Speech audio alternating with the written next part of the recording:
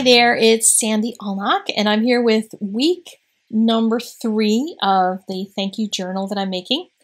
And I'm using some watercolor paper that I have taped down, and I'm adding water to it with this aqua brush. And an aqua brush, you can actually squeeze the brush itself and drip water onto the paper. You can get the water onto the paper any way you want, but I'm making vertical stripes with dry spaces in between because I want to do something that has sort of drippy looking striations. You can also do something similar to this by taping your paper to a board and then tipping the board so you get lots of gravity going on. But this is done for the class that I'm doing at my church, the Bible study. And there's a lot of people who don't really have all the tools and supplies and place to work and everything. So I came up with ways to keep this really simple for them. So just painting some stripes and then dropping watercolor into them.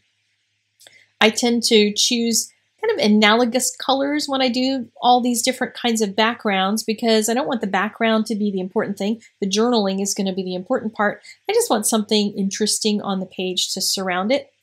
And for me, also, just the process of painting, putting color onto the paper, watching it move, and that sort of thing is a very meditative part of my creative process. So I'm just kind of tossing colors in, letting the paint move around, dropping water into it, trying to squeeze this brush and force some more water out, that sort of thing, splattering stuff, just having all kinds of fun. For this particular technique, I just want to make sure I leave enough open areas that I'm going to have place to journal. So once it was all completely dry, then I was able to go in with my Sharpie and start creating shapes. And what I'm doing is tracing around the edges of the different shapes that the watercolor made. And that's kind of the cool part about doing this after having painted something so that you don't have to think about how do I make a shape? What shape do I make next? Do I make a circle? Do I make a square? Is it looking too rigid? Is it whatever? This makes it very organic because you're just following the shapes that are already there. And once you trace the main shapes, if you look within those, you'll see little tiny halos of shapes inside of them and it's going to give you more areas to break things down into and that sort of thing. The verse that I'm using for my meditation during this little page is Psalms 139, verse 14, which is my life verse, my very favorite verse in all of Scripture. I praise you because I am fearfully and wonderfully made. Your works are wonderful. I know that full well. And what I have really been pondering is that God has made me perfectly the way I'm supposed to be made. And I know we say that a lot, but there are so many times when I find myself thinking, boy, I wish I were as blank as someone else. I wish I were as pretty as her. I wish I were as uh, fit as so and so. I wish I were as smart as so and so. I wish I had a ministry like that person. That looks really effective. And I, I just find that weird jealousy monster rears its ugly head in very subtle ways. It's stuff that kind of bounces around inside my head as opposed to being an outward direct thought. And God doesn't want us to be thinking that way. And trying to check myself and remember constantly that God made me the way He made me for a reason. So, what I've written in my journal is Thank you, God, for making me as you saw fit. I know I don't appreciate it, though you have done all, all you have done. I can't even read my writing to create me to be a unique individual.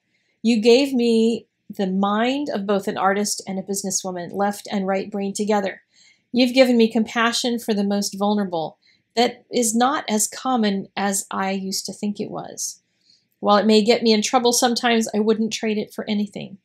You made me a dog and a cat person, egalitarian.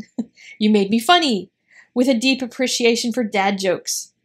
Most of all, you gave me a heart for you and your word, which will never leave me out in the cold. And then, since I had a column of space over on the right hand side, I also wrote the scripture out. When you're doing a journal like this, you can fill the whole thing with prayerful journaling. You can write scripture in there. You can just keep doodling to fill in those spaces. You can leave some restful spaces as well. You don't have to fill in every square inch of this. The whole idea of having a journal and creating a journal is to process what God is talking to you about. For me, writing out what I'm thinking often shows me even errors in my thinking when I see it in black and white on a piece of paper. It can sometimes throw me for a loop because I'm like, wow, I didn't know I thought that. Didn't know I bought into that thing.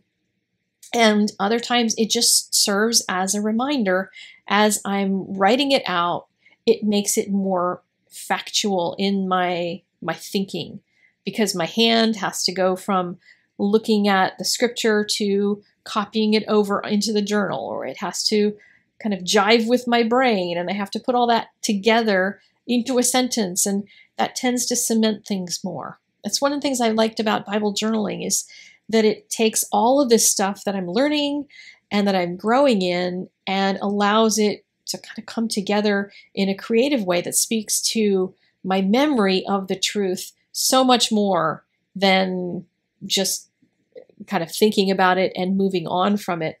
Even writing in a journal where I'm not doing any artwork doesn't have the quite the power that something having to do with something creative will do for me. So even just being able to doodle and ponder things while I'm doodling is just really nice. And this kind of doodling is loose and freeing and fun. All right, I will see you again next week with the next lesson. Thank you so much for joining me. Share this with your friends if you think there's anybody who could use lessons like this, and I'll talk to you soon. Bye bye.